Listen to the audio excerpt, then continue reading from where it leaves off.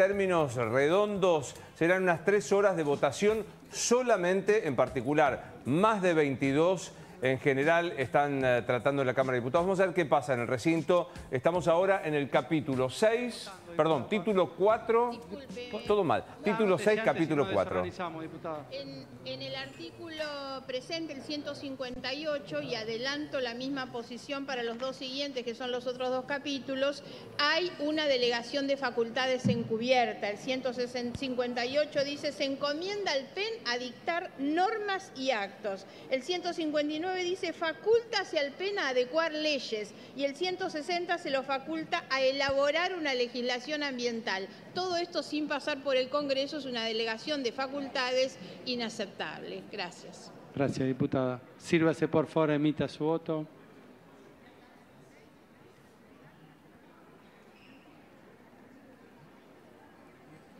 Este es el momento de la votación. Estamos viendo para analizar... Ha finalizado el tiempo. ¿Cuántos números sostienen? Hasta ahora el que menos tuvo fue 137 y el que más 144 me parece. El que menos tuvo fue la ley laboral. sí, la reforma, laboral. la reforma laboral. Y estamos viendo para tener claro, se nos mueve Mayol, ahí está, eh, para tener claro cómo va. Esto es energía, ¿verdad Pancho? Sí, energía, precios no al control de precios, desregulación del sector. Bien.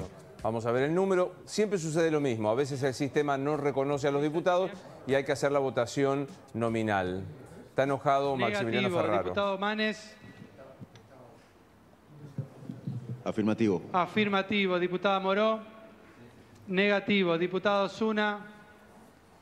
Negativo. Diputada Propato. Negativo. Diputado Ketlas. Positivo, diputado Santilli. Afirmativo, diputada Selva. Diputada Selva. Negativo. Diputada Vera Say. Afirmativo, diputada Volnovich. Negativo. 145 votos afirmativos, 106 negativos y cero abstención. Resulta afirmativo. Bueno, a continuación me parece demasiado apresurado, pero lo tenemos que ver, lo vamos a ver en producción. Lo escucho a Manes votando afirmativo. Eh, no sé si en general lo hizo y demás, porque recordemos el enojo, este Juan, cuando con sus tres diputados de alguna manera empieza a mostrar la dificultad que hay en el radicalismo, que en el Senado se da con Lustó y otros senadores. ¿Qué, ves del radicalismo? En general Manes se abstuvo, si no me equivoco. Eh, no, lo que veo también es que algunos eh, artículos tienen más votos que la general. Sí. ¿no? lo que veo en el radicalismo es que hay una división de un sector mayoritario que está acompañando eh, la iniciativa del gobierno, estén acompañando el cambio que propone. Obviamente no es el, primer, el cambio que propuso inicialmente, esto se negoció. Algunos lo ven como debilidad del, gobierno haber negociado y haber bajado artículos. Yo lo, lo veo como fortaleza. Un gobierno que tiene 37 diputados, que está aprendiendo en tiempo real a ser gobierno. El aprendizaje que hicieron de enero acá es enorme. El aprendizaje que hizo, por ejemplo, Martín Menem dirigiendo la Cámara, el rol de Guillermo Francos. Todo esto le está dando un sustento político a un gobierno que está en minoría, que no tiene diputados, que tiene, no tiene la mayoría en ninguna Cámara, que no tiene gobernadores, que no tiene intendentes, que hace dos años eran dos diputados. Entonces, dentro de lo que es el sistema político, ¿dónde está la fortaleza y dónde está la debilidad? Los que hoy tienen mayoría son los débiles y el gobierno está avanzando. Eh, obviamente el juego va a ser la economía, ¿no? De cara al futuro. De vuelta, yo creo que ilumina más. A ver, dame resultados ahora, sí, Cecilia. En línea con eso que venías diciendo, Juan, en el gobierno hablan de la posibilidad de las elecciones del 2025 incluir, obviamente, al PRO y al sector del radicalismo sin lustó, ¿no? Digo, pero ellos claramente como socio mayoritario a esta altura, digamos, ya eso quedaría para vos una discusión saldada, digamos, que ya no habría discusión de que sea el socio mayoritario o todavía hay que ver? Yo creo que hoy en día eh, el electorado se corrió, por más que no tengan, hoy en día si tomamos la composición de las cámaras de diputados, son tres tercios, ¿no? Son prácticamente iguales, UCR, PRO y Libertad Avanza, pero los votantes se corrieron hacia la Libertad Avanza. Hoy el que era votante de Juntos por el Cambio está apoyando fuertemente al gobierno y me parece que el hecho que, que, sea el socio mayoritario en esta nueva posible coalición es algo que tiene que ver con un sentido de realidad. ¿no? Se corrió la agenda y se corrió el electorado hacia... Hoy en día el eje de la polarización es apoyo al gobierno o estoy en contra del gobierno. Se corrió. Hasta hace eh, seis meses era kirchnerismo, antikirchnerismo, incluso durante el gobierno de, Macri, el, eje de la polarización era kirchnerismo, antikirchnerismo. Cristina era el personaje, aún durante el gobierno de Macri, que estaba en el centro de la, escena, hoy en, y en el gobierno de Alberto Fernández ni que hablar. Sí, claro. Eh, y hoy en día el centro de la escena lo ocupa el presidente Milei. Estaba revisando algunos eh, temas conceptuales de, esta, de este proyecto. moratoria no, ¿no? el fin de la moratoria previsional, el tema de los precios libres, reforma laboral, aunque acotada, pero existe. ¿Qué análisis haces respecto de cómo fue cambiando la sociedad en los últimos años respecto de, algunas, de algunos postulados? ¿no? Pensá que Macri, por ejemplo, eh, tuvo que decir que no iba a privatizar aerolíneas para que lo votaran, digo. Sí, Macri tuvo que volver atrás con una reducción de personal de Telam. Claro y eso le frenó un montón de reformas que quería hacer en el Estado. Eh, creo que la crisis eh, que, estamos desde el 2018 en crisis, ¿no? Pero la crisis de los últimos años llevó a, a gran parte de la sociedad a darse cuenta que realmente el Estado más que una solución es un problema. El Estado tal como lo concebimos, ¿no? Claro, sí, sí. No hablamos de, la, inexistencia del Estado, estamos hablando de porque es una actitud, quizás es una definición un poco extrema, que muchas veces el presidente también, creo que desde un punto de vista filosófico la plantea, mm. pero que el Estado tal como funcionaba es más un problema, es más algo que parasita la posibilidad de que la sociedad se desarrolle económicamente, que subir el estándar de vida eh, que, digamos que un beneficio, ¿no? Entonces hay un cambio cultural, por eso yo decía, más que la batalla económica, primero se, ganó una batalla a nivel cultural. No sé, que, no sé si estabas en ese momento, pero me escribe un diputado que está ahí del PRO, no importa quién, y me lo, me lo escribía con pesar. Me decía, nosotros no hubiéramos podido. Es más, me dice, si hubiésemos ganado la elección del año pasado, esto no lo hubiéramos podido porque mi ley encarna, porque ellos ya habían ensayado y no les había habido, pero mi ley encarna primero la virginidad del ejercicio del poder, B, la transformación a motosierra, después discutamos, ¿no?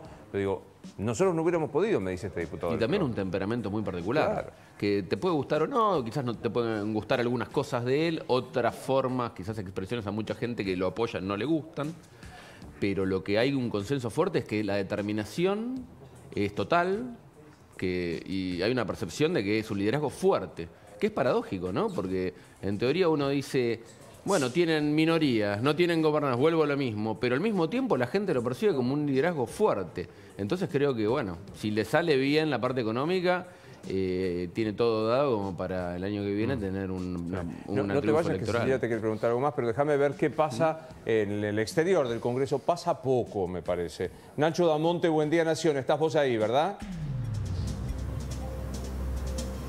¿Qué tal, Luis? Eh, ¿Cómo te va? Buen mediodía casi, ¿no? Pero la verdad que se ha calmado mucho aquí eh, las inmediaciones del Congreso enfrente. Estamos justo en Entre Ríos eh, y Rivadavia. es más, ahora hay más policías que manifestantes. de hecho, han decidido ir desarmando de a poco lo que habían colocado aquí. Había algunas banderas del Polo Obrero, había bastante del MST, el Movimiento Socialista. aquí está el grupo de policías que de a poco va desarmando filas. Eh, de hecho, eh, nunca llegaron a armar las vallas que, estaban planteadas para armar aquí, como sí se armaron ayer en la rotonda, vendría a ser, o la dársena de colectivos aquí enfrente del ingreso principal del Congreso. Ahora te voy a mostrar, vamos a ir a la izquierda, estamos trabajando aquí en vivo con eh, Jonathan Cott, lo que ha quedado como una especie de montaje permanente, plantean desde las organizaciones, no permanente durante varios días, sino por lo menos durante la jornada de hoy. Esas carpas que ves allí, que son de las distintas agrupaciones, van a permanecer, eh, que también sirven como para, para que se puedan resguardar de la lluvia muchos de los eh, militantes que se acercaron aquí, eh, integrantes de organizaciones sociales, que, bueno, por supuesto, esperaban seguramente otro resultado, por eso vinieron a protestar aquí y aprovecharon un momento para tirar fuegos artificiales, todos los fuegos artificiales que pretendían tirar si la... Eso es lo que me comentaron, todos los fuegos artificiales que pretendían tirar si la ley no se aprobaba, decidieron tirarlos igual, esto fue iniciativa de algunos algunos sindicatos que se plegaron a la marcha, no por supuesto la CGT, sino otros sindicatos eh, que son afines a las organizaciones de izquierda. Salvemos distancias, enormes distancias. Esas carpas donde están ahí es el mismo lugar donde se había instalado en los 90, ustedes no habían nacido, ya sé, la carpa blanca docente, que fue una de las, de las peleas que termina después nada, en un impuesto, en el Fondo Nacional de Incentivos Centro, que hasta el día de hoy se paga y que el gobierno nacional cortó, pero en ese lugar donde pasaron las personalidades más variadas y disímiles e importantes, ¿no? Y este es un grupo, Mesa de Coordinación Nacional de Organizaciones Jubilados y Pensionados de la República Argentina, han como, como conjugado todas las protestas, este, Nacho. Ayer estuvo, estuvo Lucas Jerez, que ahora está dentro del Palacio. Ayer estuvo Jubilados Intransigentes, cerca de las 3 de la tarde, haciendo una marcha también. Detrás de ellos iban muchas de las organizaciones. Claro, se los utiliza en varias ocasiones, como se ha utilizado en otras, en otras manifestaciones, a los niños, a las mujeres delante. En este caso habían decidido que vayan los jubilados primero, como para que el operativo em, del protocolo de seguridad eh, no vaya contra ellos y les permitan de alguna forma cortar algunos carriles. Eso sucedió ayer, hoy está mucho más tranquilo el clima. Aquí hay un sector importante de ATE, también, bueno, como decíamos recién, eh, de los jubilados, se van a quedar aquí, bueno, eh, soportando la llovina que está cayendo, que no ha parado en toda la mañana, eh, y también a la espera de, bueno, lo que plantean eh, algunos de los dirigentes más importantes, sobre todo de ATE, ¿no? que son de los más duros contra el gobierno de Javier Milei, y es hoy aquí el que más se está convocando, ¿sí? Porque la izquierda también ha decidido dar un paso al costado, no se encuentra más aquí, Luis. Bueno, había un operativo de policías, muchos policías, casi más que manifestantes en el ingreso. ¿Se sostiene eso ahí, Nacho? Perdón, ¿me decías en el ingreso de Rivadavia sí. o sobre Callao? Sí, ahí donde estás vos. Bueno, sobre Rivadavia, mira, lo tenemos acá donde estamos nosotros, eh, en este sector de las carpas quedaron el grupo de militantes que, quedó sobre todo de ATE.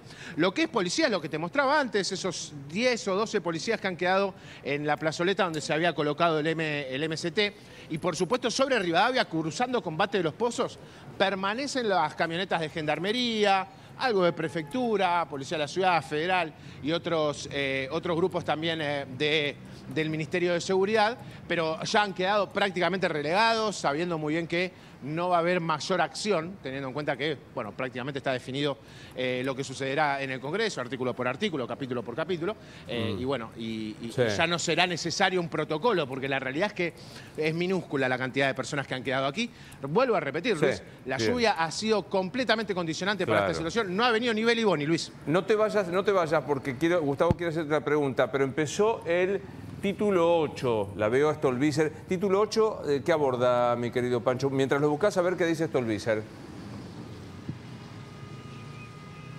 Está claro que esto se ha hecho en estudios o en escritorios que están afuera del funcionamiento del Estado. Nosotros creemos que debemos sostener y defender un Estado. Días pasados en su discurso, muy enfrente del propio presidente Milei, lo dijo el presidente de la calle Pou. Se necesitan estados fuertes para llevar adelante los países a un modelo de desarrollo. Se necesitan estados que puedan... Bien, ahí estamos. Título 8, que va por dónde? Régimen para grandes inversiones. Ah, hay inversiones superiores a los 200 millones de dólares. Bien. Gustavo, ¿qué querías preguntarle a Nacho? No, simplemente también eh, sumar a lo que informa Ignacio Damonte, que ayer sí se aplicó con toda la rigurosidad, tal cual lo había anunciado la ministra de Seguridad de la Nación, Patricia Bullrich, el protocolo antipiquete. En realidad el corte estuvo a cargo de la policía, que eh, tuvo que interrumpir el tránsito por cuestiones operativas en dos carriles de Avenida Rivadavia. Eh, la gendarmería, el operativo comenzó, piensen, ayer a las 4 de la mañana con la llegada de los móviles de la gendarmería. Está participando además de la Policía Federal, que es la que tiene toda la seguridad en el Congreso y en el primer anillo del Congreso, la Prefectura de la Gendarmería y efectivos de la Policía de la Ciudad que están a cargo de lo que es eh, los alrededores del Congreso. Y otro detalle, ayer había 800 efectivos de cuatro fuerzas de seguridad. Hoy, por como um, está mostrando Jonathan Code, Ignacio sí. el móvil de Nación Más, quedan mucho menos, Luis. Pero muchos, ¿eh? Nacho, ¿algo más que quieras agregar desde el lugar?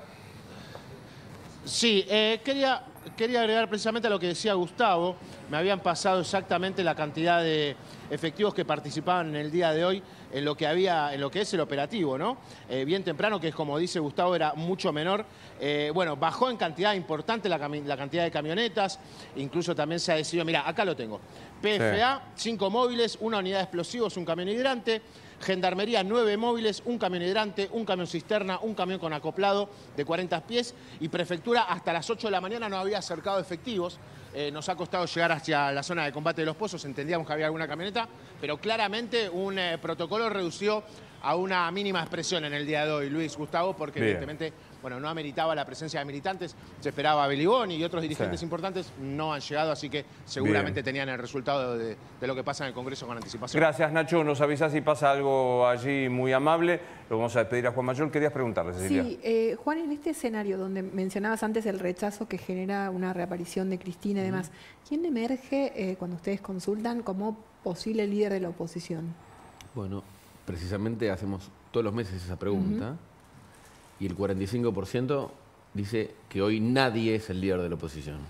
Ese es el dato, ¿no? Mm. Eh, pero bueno, si nosotros agrupamos todos los referentes del kirchnerismo, también suman alrededor de un 40%. Entonces, ahí la tenemos a Cristina como líder de la oposición y a Axel Kisilov. Son los dos principales referentes del kirchnerismo que hoy en día la gente establece como líder de oposición. Hay algo interesante en eso, más allá de ese nadie que es muy fuerte y muchas veces los medios lo mm. levantan, eh, que los kirchneristas hoy en día dicen en mayor medida que Kisilov es el líder de la oposición y los que dicen que es Cristina son los antikirchneristas. Qué interesante. Digo, y por las dudas de sábado se notó la fricción de, entre Cristina y Kisilov, ni lo mencionó, o sea, no, no hubo la menor referencia. Ahí, ahí creo que también es una de las razones de la aparición de Cristina, ¿no?